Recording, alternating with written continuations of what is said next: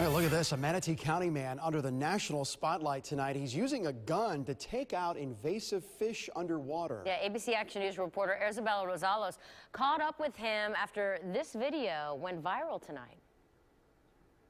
He's got the perfect name. That's because when he's not working as a mortgage broker, Courtland Hunt is on the hunt for lionfish. At first, he didn't take up arms to protect the environment.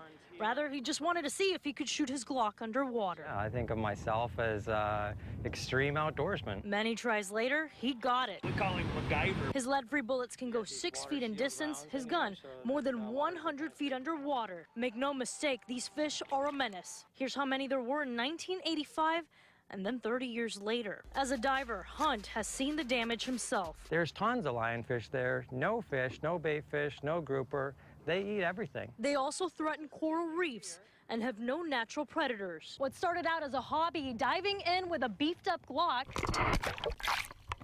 has turned into a real mission to protect the environment. So far, Hunt has killed more than 100 of these lionfish. These striped predators are such a threat.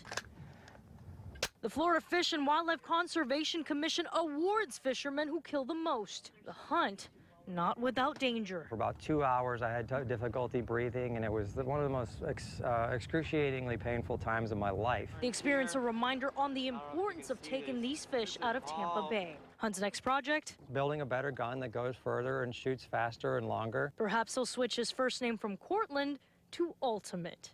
In Bradenton, Isabel Rosales, ABC Action News.